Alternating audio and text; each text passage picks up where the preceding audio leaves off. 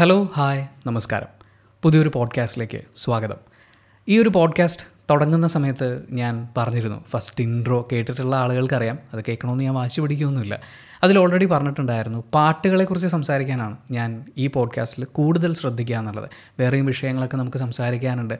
ഒരുപാട് ആളുകളെക്കുറിച്ച് അവരുടെ ജീവിതങ്ങളെക്കുറിച്ച് സംസാരിക്കാനുണ്ട്. പിന്നെ എന്റെ കുഞ്ഞു ജീവിതത്തിലെ ചില കാര്യങ്ങളൊക്കെ പറയാനുണ്ട്. അപ്പോൾ ഈ ഒരു പോഡ്കാസ്റ്റ് സീരീസിൽ പാട്ടുകൾക്കാണ് കൂടുതൽ ഇമ്പോർട്ടൻസ് ഉള്ളത്.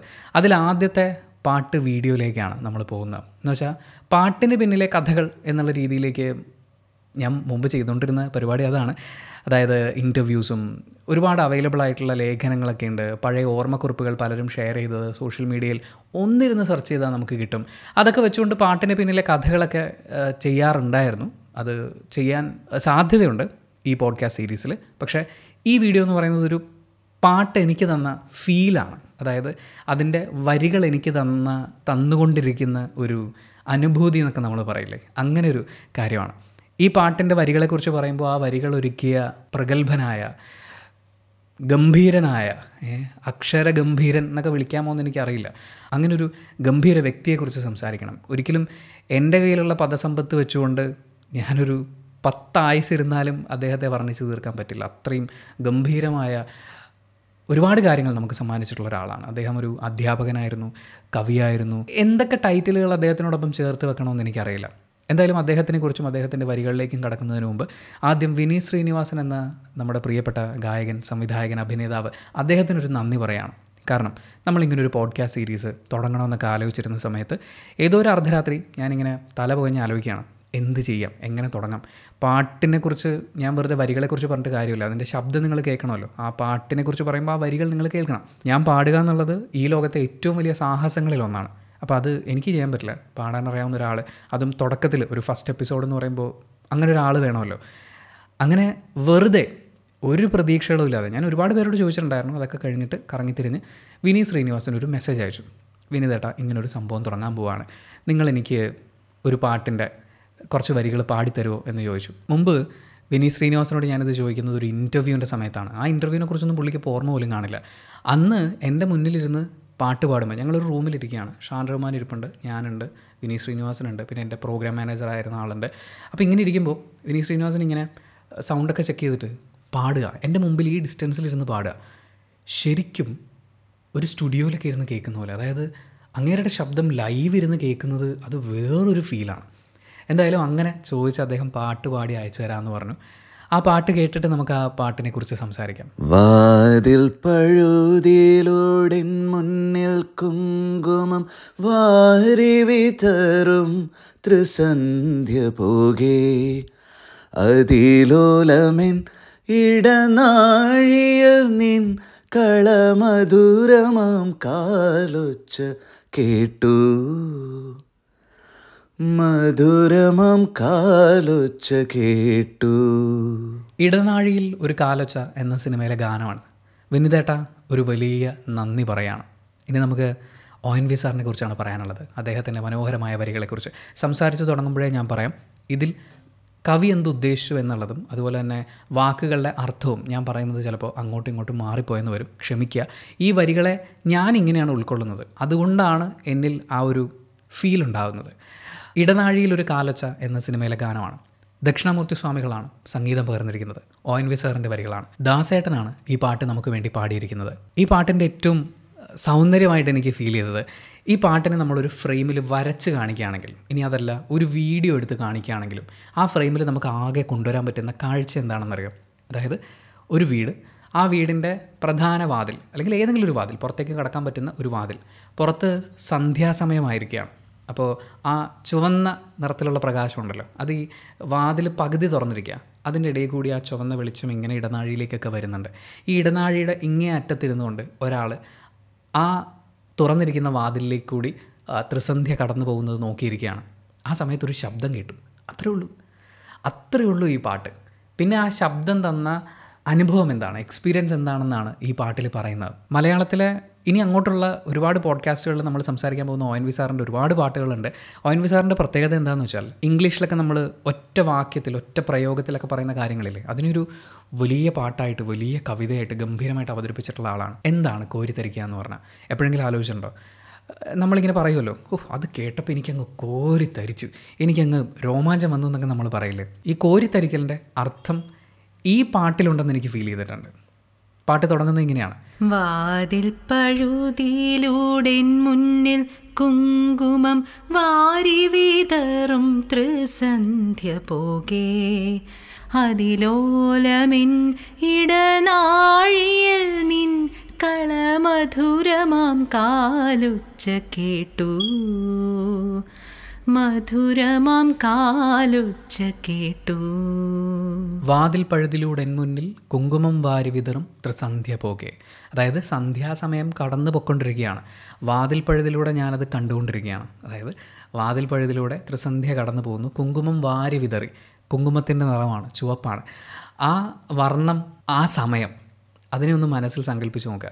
ആ സമയത്തെ ആസ്വദിച്ചുകൊണ്ട് ആ വാതിലിലേക്ക് നോക്കി ഒരാൾ ഇരിപ്പുണ്ട് ആ ആളാണ് ഈ പാട്ട് പാടുന്നത്. അപ്പോൾ വാതിൽ പഴുതിലൂടെ എൻമുന്നിൽ കുങ്കുമം വാരി വിതറും ത്രിസന്ധ്യ പോകെ. ആ സമയത്ത് അതിലോലമെൻ ഇടനാഴിയിൽ നിൻ കളമധുരമാം കാലൊച്ച കേട്ടു. അതായത് വളരെ സുന്ദരമായ നിന്റെ കാലൊച്ച കേട്ടു. അത് ചിലങ്കയുണ്ടോ പാദസരമുണ്ടോ എന്നുള്ളതൊന്നും ഈ ഒരു ഭാഗത്ത് പറയുന്നില്ല. പക്ഷേ ആ കാലൊച്ച അത് എത്രത്തോളം ഇമ്പോർട്ടന്റ് ആണ് എത്രത്തോളം സുന്ദരമായാണ് ആ കേൾക്കുന്ന ആൾക്ക് ഫീൽ ചെയ്യുന്നത് എന്നുള്ളത് ഈ വരിയിലുണ്ട്. അതിലോലമൻ ഇടനാഴിയിൽ. അവിടെ എന്തെ എന്തെങ്കിലും ഒരു ശബ്ദം വന്നു കഴിഞ്ഞാൽ ഞാൻ അറിയും. അത്രയും അതിലോലമായ ആ ഇടനാഴിയിൽ നിൻ കളമധുരമാം സുന്ദരമായ ആ കാലൊച്ച ഞാൻ കേട്ടു. അപ്പോൾ കാലൊച്ച ഐഡന്റിഫൈ ചെയ്തു. എനിക്ക് ഏറ്റവും പ്രിയപ്പെട്ട ഒരാളാണ് വന്നിട്ടുള്ളത്. അടുത്ത വരിയിലേക്ക് പോകുമ്പോൾ ഹൃദയത്തിൻ തന്ത്രിയിൽ ആരോ വിരൽ തൊടും. മൃദുലമാം നിസ്വനം പോലെ. ഹൃദയത്തിൻ തന്തിയിലാരോ വിരൽ തൊടും. മൃദുലമാം നിസ്വനം പോലെ. ഇലകളിൽ ജലഗണമിറ്റു വീഴും പോലൻ ഉയിരിൽ അമൃതം തളിച്ച പോലെ. തരളവിലോലം നിൻ കാലൊച്ച കേട്ടു ഞാൻ അറിയാതെ കോരിത്തരിച്ചു പോയി. അറിയാതെ കോരിത്തരിച്ചു പോയി. ഹൃദയത്തിൻ തന്തിയിൽ ആരോ വിരൽ തൊടും മൃദുലമാം നിസ്വനം പോലെ. ഞാൻ ഇതിനെ കുറച്ച് കടന്ന് ആലോചിക്കാറുണ്ട് കേട്ടോ. ഇങ്ങനെയൊന്നും ആലോചിക്കേണ്ട ഒരു കാര്യമില്ല. എന്നാലും എന്റെ ഒരു ഇഷ്ടം എന്റെ ഒരു ശീലം അങ്ങനെയാണ്. ഹൃദയത്തിന് തന്തികൾ ഉണ്ടായിരുന്നു എന്ന് വിചാരിക്കൂ. ഹൃദയം ഒരു വീണ പോലെ ഒരു തമ്പുരു പോലെയായിരുന്നു എന്ന് വിചാരിക്കൂ. അതിന്റെ തന്തിയിൽ ആരോ വിരൽ തൊടുക എന്ന് പറയുന്നത് വളരെ സെൻസിറ്റീവായിട്ടുള്ളൊരു ഒരു സംഭവമായിരിക്കും. അതായത് നമ്മൾ വല്ലാത്തൊരവസ്ഥയിലേക്ക് വരും. പക്ഷെ തരളമാം നിസ്വനം പോലെ വലിയ ശബ്ദമോ വലിയ സംഗീതമോ അങ്ങനൊരു ലെവലിലേക്കൊന്നും പോയിട്ടില്ല. പക്ഷെ ആരോ വിരൽ തൊട്ടു. അതൊരു അതൊരു ഫീലാണ്. ആ ഫീലിൽ അടുത്തത് എന്തെന്ന് പറയുന്ന അത് അറിയാതെ നമ്മളിങ്ങനെ സ്റ്റക്കായി പോവുകയാണ്. പക്ഷേ ആ ഫീൽ വളരെ പ്രിയപ്പെട്ടതുമാണ്. അടുത്ത വരിയിലേക്ക് വരുമ്പോൾ ഇലകളിൽ ജലഗണം ഇറ്റുവീഴും പോലെ ഉയിരിൽ അമൃതം തളിച്ച പോലെ. ഇലകളിൽ ജലഗണം ഇറ്റു വീഴുന്നത് അതൊന്ന് സങ്കല്പിച്ച് നോക്കും. വെള്ളത്തിന്റെ ഒരു തുള്ളി വീഴുന്നു. അത് വീണ് കഴിഞ്ഞ് ഇല താഴും. അത് കഴിഞ്ഞ് മുന്നോട്ട് തുള്ളിച്ചാടാൻ വേണ്ടിയിട്ട് വരും അല്ലേ? ആ തുള്ളിച്ചാടാൻ വേണ്ടി വരുന്നതിനെ അവിടെ നിർത്തും. അതേപോലെ എന്റെ ഉയിരിൽ അമൃതം തളിച്ച പോലെ. അമൃതം എന്ന് പറയുന്നത് അമരത്വത്തിലേക്കുള്ള വഴിയാണ്. അതായത് മരണമില്ലാതാവുന്ന ഒരു സംഭവമാണ്. ഞാനതിനെ മരണമില്ലാതാവുന്നു എന്ന് പറയുന്ന രീതിയിൽ അല്ല കാണുന്നത്. അമൃതം എന്ന് പറയുന്നത് മരണത്തെക്കുറിച്ച് നിങ്ങൾ ചിന്തിക്കാതിരിക്കലാണ് അത് ചിന്തിക്കാതിരിക്കുന്നിടത്തോളം നിങ്ങൾക്ക് മരണമില്ലെന്ന് തന്നെയാണല്ലോ. അത് കുറച്ച് ഫിലോസഫിക്കലായിട്ടൊക്കെ ആലോചിച്ച് നോക്കിയാൽ ചിലപ്പോൾ മനസ്സിലാക്കാൻ പറ്റും. അപ്പോൾ എന്റെ ഉയിരിൽ അമൃതം തളിച്ചതുപോലെ എനിക്കിനി മരണമില്ല എന്നുള്ള ഒരു തോന്നലിലേക്ക് അല്ലെങ്കിൽ മരണത്തെക്കുറിച്ച് ഞാൻ ചിന്തിക്കാത്തതുപോലെ എന്റെ ഉയിർ ഏറ്റവും എക്സൈറ്റഡ് ആയിട്ടുള്ള ഒരു അവസ്ഥയിലേക്ക് എത്തുകയാണ്. ആ അവസ്ഥയിലേക്ക് എത്തുന്ന പോലെ തരള വിലോലം നിൻ കാലൊച്ച കേട്ടു ഞാൻ. അറിയാതെ കോരിത്തരിച്ചു പോയി. ആ ശബ്ദം കേട്ടപ്പോൾ ഞാൻ അവിടെ ഇരിക്കുകയാണ്. ശബ്ദം കേട്ടു. അത് കേട്ടപ്പോൾ ഞാൻ കോരിത്തരിച്ചു പോയി. എനിക്കറിയാം ഇതാരാണ് എന്നുള്ളത്. അതിന്റെ ഫീൽ എന്താണെന്നുള്ളത്. പക്ഷേ അടുത്തതായിട്ട് ഞാനൊന്നും ചെയ്തില്ല. ആ ഒരു നിമിഷം ഉണ്ടല്ലോ. ആ ഒരു ഒരു മൈക്രോ സെക്കൻഡ് എന്നൊക്കെ പറയാവുന്ന ആ ഒരു നിമിഷം. ആ നിമിഷത്തിന്റെ ഫീലാണ് കോരിത്തരിക്കൽ എന്ന് പറയുന്നത്. അത് എത്ര രസമായിട്ടാണ് O N V sir explain ചെയ്തു വെച്ചിരിക്കുന്നത്. ദാ ഇവിടെ വരെ എത്തി. അടുത്തതിലേക്ക് പോവുകയും ചെയ്യും. അല്ലെങ്കിൽ പോകാൻ പറ്റാതിരിക്കുകയായിരിക്കും. അത് അടുത്ത വരികളിലേക്ക് വരുമ്പോൾ അറിയാം കേട്ടോ. അടുത്തതിലേക്ക് പോകാൻ പറ്റാതിരിക്കുകയോ അല്ലെങ്കിൽ അടുത്തതിലേക്ക് പോകുന്നതിന് തൊട്ട് മുമ്പുള്ള ആ ഒരു നിമിഷം ഉണ്ടല്ലോ. ഏറ്റവും പ്രിയപ്പെട്ട ഏറ്റവും ആഗ്രഹിച്ചിരിക്കുന്ന ഒരു കാര്യം സംഭവിച്ചു. അല്ലെങ്കിൽ സംഭവിക്കാൻ പോകുന്നു എന്നുള്ളൊരു തോന്നൽ അറിവ് നമുക്ക് കിട്ടി. ആ എക്സൈറ്റ്മെന്റ് അനുഭവിക്കുകയാണ്. ആ ഒരു നിമിഷം അറിയാതെ കോരിത്തരിച്ചു പോയി. ഇനിയാണ് ഈ പാട്ടിലെ ഏറ്റവും മനോഹരമായ എനിക്ക് ഏറ്റവും ഇഷ്ടമുള്ള വരികൾ വരുന്നത്. ഹിമബിന്ദു മുഖപടം ചാർത്തിയ പൂവിനെ മധുകരം മുകരാതെ ഉഴറും പോലെ. അതായത് ഹിമകണം നമ്മുടെ മഞ്ഞുതുള്ളി അത് മുഖപടം ചാർത്തിയ പൂവ് എന്ന് വെച്ചാൽ അത് പൂവിന്റെ മേലിങ്ങനെ ആ ഒരു വെള്ളത്തിന്റെ മഞ്ഞുണ്ടായിരുന്നു അത് വെള്ളമായി മാറിയിരിക്കുന്ന ആ ഒരു ഒരു ഒരു കാഴ്ച നിങ്ങൾ ആലോചിച്ച് നോക്കൂ. ഒരു രാവിലെ കാഴ്ചയാണ്. മഞ്ഞുതുള്ളിയുണ്ട് അതിങ്ങനെ വെള്ളമായി മാറുന്നു. അത് പൂവിന്റെ മുഖപടം പൂവിൽ പൂവിന്റെ തേനുള്ള ഭാഗത്ത് ആ വെള്ളത്തിന്റെ തുള്ളിയുണ്ട്. അപ്പോൾ ഹിമബിന്ദു മുഖപടം ചാർത്തിയ പൂവിനെ അങ്ങനെ ഇരിക്കുന്ന പൂവിനെ മുഖരാതെ മധുകരം മധുകരം എന്ന് പറഞ്ഞാൽ മധു കുടിക്കാൻ വരുന്ന തേൻ കുടിക്കാൻ വരുന്ന വണ്ടോ ചിത്രശലഭോ പല അർത്ഥങ്ങൾ ഞാൻ സെർച്ച് ചെയ്തപ്പോൾ കിട്ടി.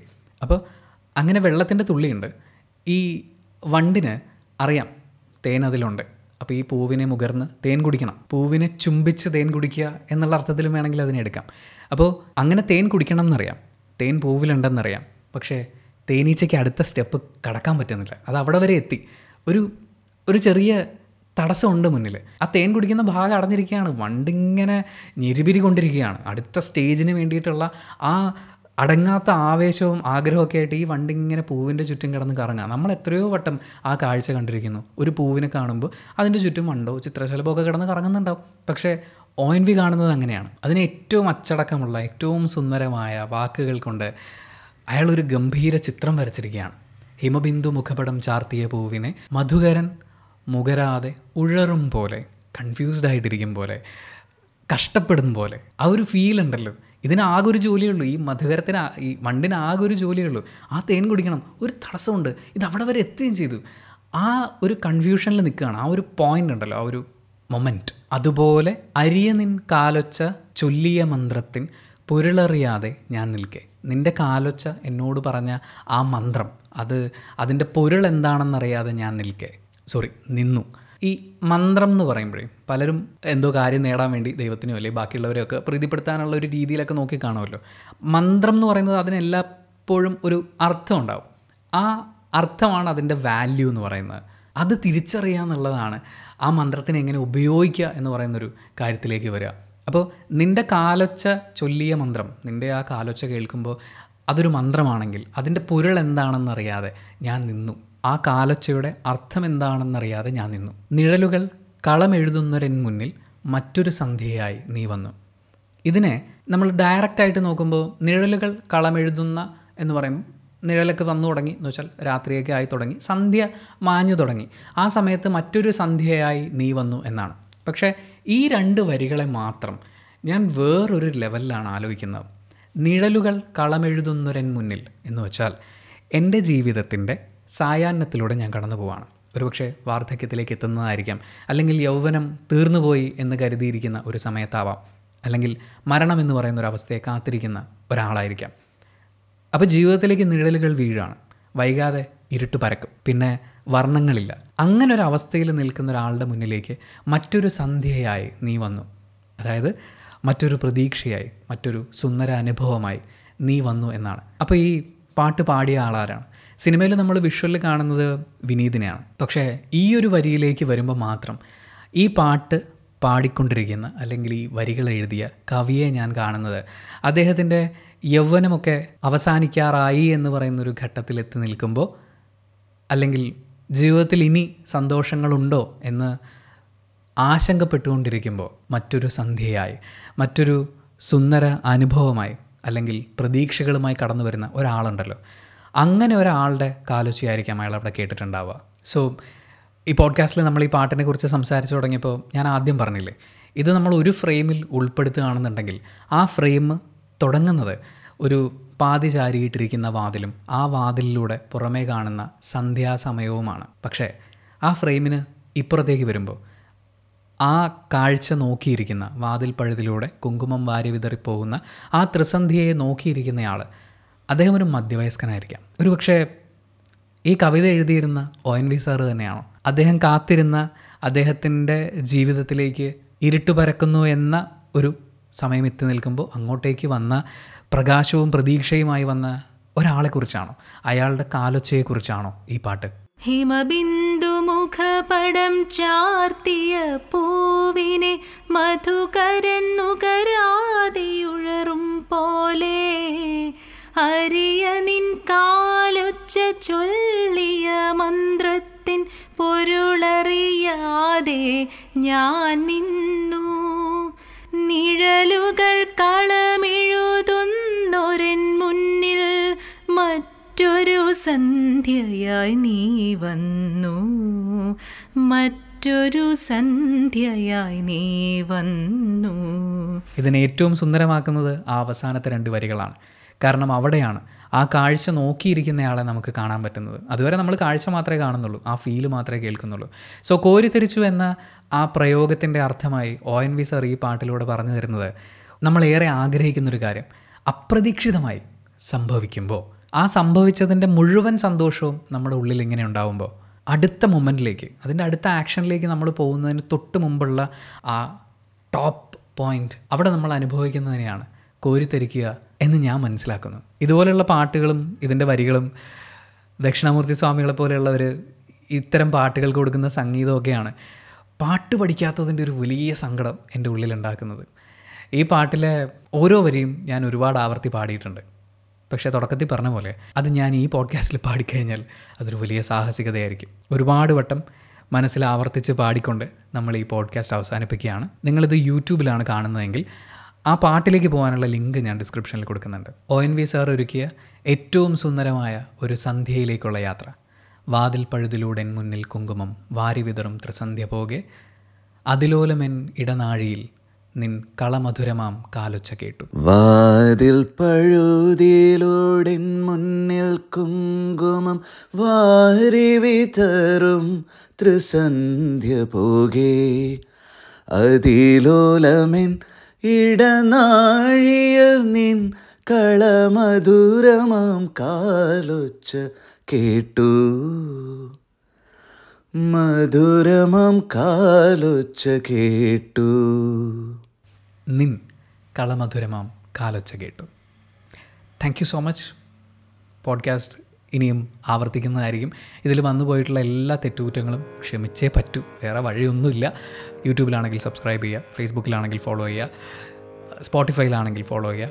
Thank you thank you so much